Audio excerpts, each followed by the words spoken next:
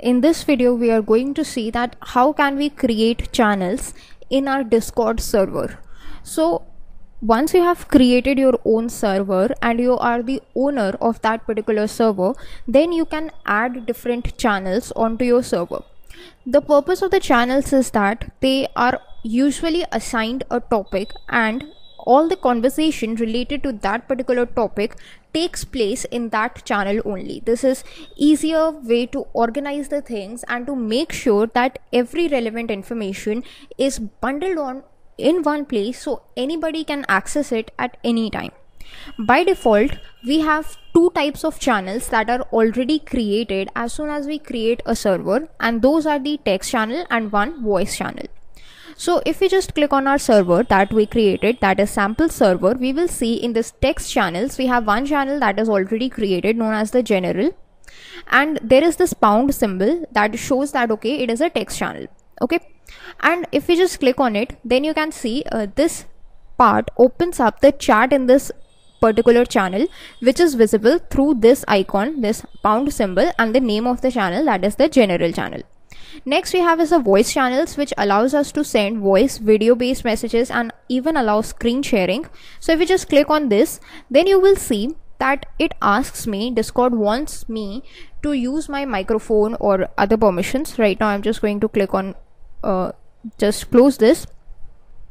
But you can see uh, there are these other options like i can turn on my uh, video or screen.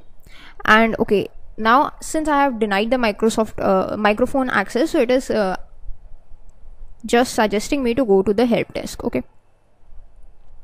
Okay. So let's just go back to our uh, text channel for now. That's the general channel. And here we can just click on this plus icon to create a new channel.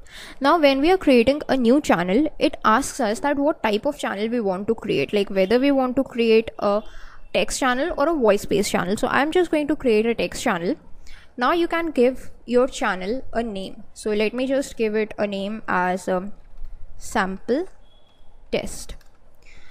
Now if you want you can just set this particular channel to a private channel.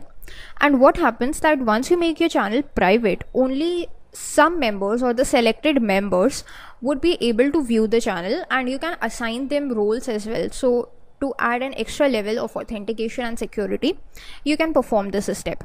So let's just click on uh, yes. So then we have an option of next.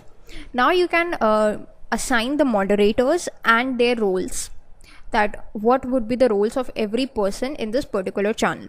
If you don't want to do this right now you can simply just click on skip and the channel would be created with a welcome message.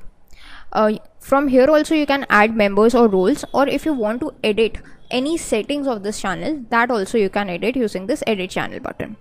Okay so we can just assign a channel topic which is again the channel description that was available uh, when we saw the public channels available. And um, how many uh, these different settings are there? Okay so that's all for this video. That's how you create a channel in discord. Thanks for watching